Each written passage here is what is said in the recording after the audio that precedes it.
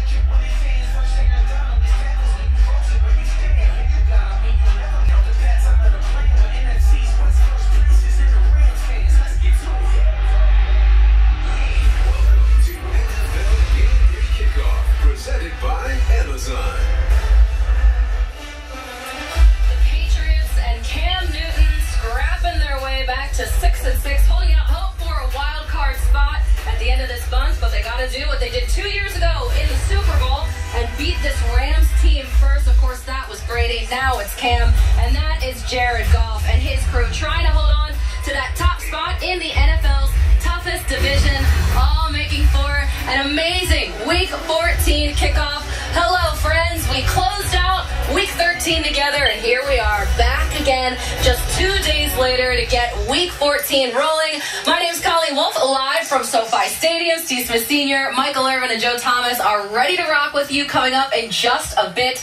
But let's begin with the standings in the NFC West. The Rams and Seahawks both 8 and 4, but the Rams win over the Seahawks here at SoFi Week 10 gives them the tiebreaker. And if you think the NFC West is competitive, take a look at the AFC playoff picture here.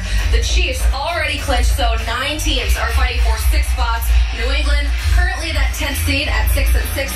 They need to get it going tonight to avoid missing the postseason for the first time since 2008.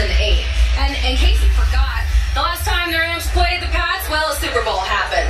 And Robert Woods, well, he uh, there he is on the field. Of course, that night in Atlanta, the Patriots collected their sixth Lombardi trophy in Atlanta at the Super Bowl.